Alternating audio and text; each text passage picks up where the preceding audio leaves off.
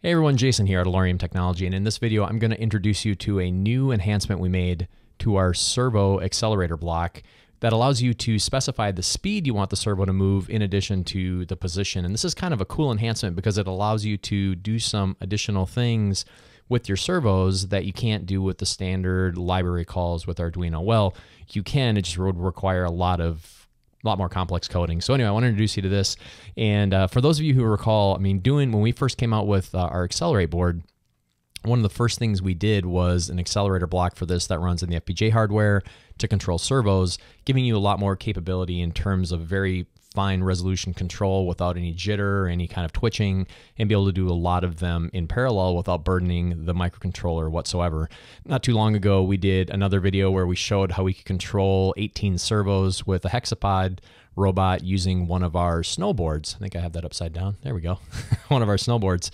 And you can check that out on our YouTube channel as well if you want to see it. But what I wanted to do was show you how you can take advantage of this new enhancement for our servo accelerator block and give you some additional features and functionality when you're controlling your servos with our FPGA based hardware. So let's take a quick look. Oh, and by the way, we're going to use Hexy once again. So Hexy is a hexapod robot that we got from Arcbotics. And the thing I like about using this is we're actually not even making it walk or using it as a robot necessarily, but we're really using it because it's got a bunch of servos we can control at one time. We can do a bunch of things with it. So you'll see Hexy again here in just a moment. Let's jump into it and tell you all about what's going on with the new servo accelerator block enhancement. So I thought we'd get started by reminding ourselves how you control servos in the first place in an Arduino sketch. And let's start by taking a look at the documentation from Arduino itself. So we'll grab the, uh, the documentation page here. Let me jump back to servo library. So this is the servo library page on Arduino's support site. And what we're going to focus on are these write and write microsecond commands because these are the functions that actually move the servo into place. Let's look at the write command. And there's a little bit of example code down here that I've actually copied over into a presentation that makes it a little bit easier to look at. So let me bring that up and get that going. So here we have the include or the servo.h example code where you can control your servo using the write command. And up at the top, we see we've got the include servo.h library. You define the servo, attach it to a pin, and it's really this this line here, this my servo.write and a uh, value here for the angle that we're going to be focusing on. And so there are really two ways you can move a servo with the library. One is with this write command. So this just gives it an angle that you want to move it to between 0 and 180 degrees. You can also use a command called write microseconds where you pass in a value between 1000 and 2000 that actually tells you the, the width of the PWM pulse that you want to send out to the servo, which also gives it a position. And so we've made changes to both of these in our code as well in our new library and our enhanced functionality. So you can use either one. Sometimes people prefer one over the other. Now, in order to be able to use our the new functionality, we need to uh, add the capability or add our library to your sketch. And that's very simply handled by changing this include file at the top of the code.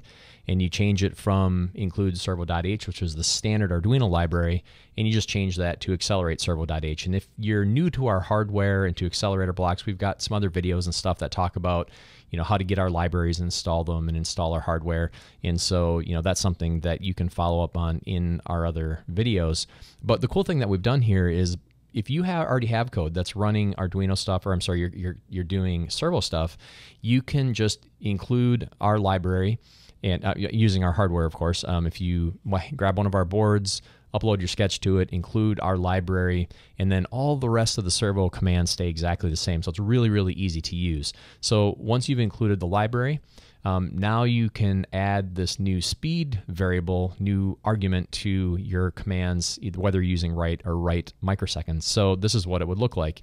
You simply change from just sending that value of 90 in the case of write to adding a speed or with write microseconds, it's the same thing. And the speed values are going to go from 1 to 15, where 1 is going to be the slowest and 15 is going to be the fastest that you can move the servo.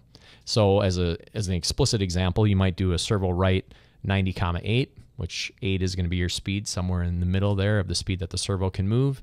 And the speed of 1 here is going to be the slowest that the servo would move for a write microseconds call.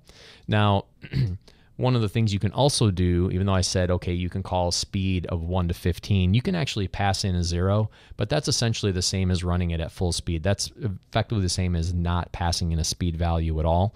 And so it just allows you, for example, if you're going to put these calls into some kind of a, a function where you want to have a variable that you're passing in there, you can still tell it to run at full speed um, by passing in a zero, or it really just kind of ignores that speed value overall. Now, the cool thing too is this this new function will run is kind of backward and forward compatible between images and our libraries. So if you have an older image on your FPGA that doesn't have this enhanced functionality in the accelerator block yet, uh, you can still use this function and it's going to work just fine.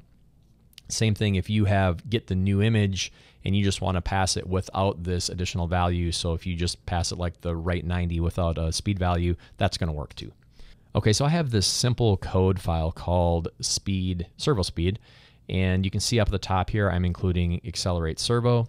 I'm also doing I'm using the snowboard in this case with Hexy, so we're doing some other stuff with the digital I/O. In case you're curious why this Arduino.h is up here, it's because I originally created this file using PlatformIO under uh, Visual Studio Code, and it includes that Arduino.h uh, for some of the, the things it needs for compiling and whatnot.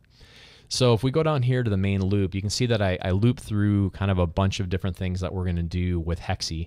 And the first one is this single servo function. And I want to show you this because this is kind of isolates this speed call and shows very specifically how this can work by uh, just using or isolating it to one servo. And we're going to so focus on uh, servo number five, which is sort of the middle leg, if you will, or the the west leg using the cardinal coordinates that that we kind of do for describing Hexy. But the first thing we're going to do here is we're just going to move that single servo using the standard call. We're doing a write. So we're going to write it to a position of 10. We're going to wait, and then we're going to move it back to 170. And you'll see what that looks like in the video. Now, as I mentioned before, you can pass in the speed value of zero. And when you do that, you effectively get the exact same behavior. So now we'll see that servo move and it's going to move positions at the same speed as if you didn't pass in a value for speed at all. Now let's start uh, changing up the speed a little bit. The first thing we're going to do is, is we're going to pass in this value of 15. Now to the eyes watching this, it's going to look about the same as not giving it any speed value because we're really running at the highest speed. And so you can see that. The next one we're going to do here is moving at a speed of 8, which is about, you know, somewhere in between and in, somewhere in the middle. And so you can see it kind of the slows down that motion. And then the last thing we're going to do is pass it this slowest speed, which you can really see the difference in how it moves. Now, that's pretty cool to see on a, a single servo, right? So just with one single servo call, you know, you can really slow down the speed at which that servo is going to move. Now, where this becomes powerful is when you want to coordinate a bunch of servos all moving at the same time. And we're going to do that or show that with this function that I called flex, right? Because it's going to kind of move those those legs up into like, I don't know, flexing a bicep or something silly like that. So that's just what I called it. But the first version we're going to see is going to run this flex command. And essentially you can see what's happening here is it's calling all of the, uh, the both two of the joints on every leg going all the way around Hexy. And it's just moving them and it's making all these calls just sequentially. Now, what actually happens when you're moving servos is it is kind of a blocking operation. So it moves one, then the next one, then the next one as it moves through these function calls. Now, if you're running it at full speed, it really looks like it's happening all at the same time because it happens very fast. And so we're going to see what that looks like when you just call that command.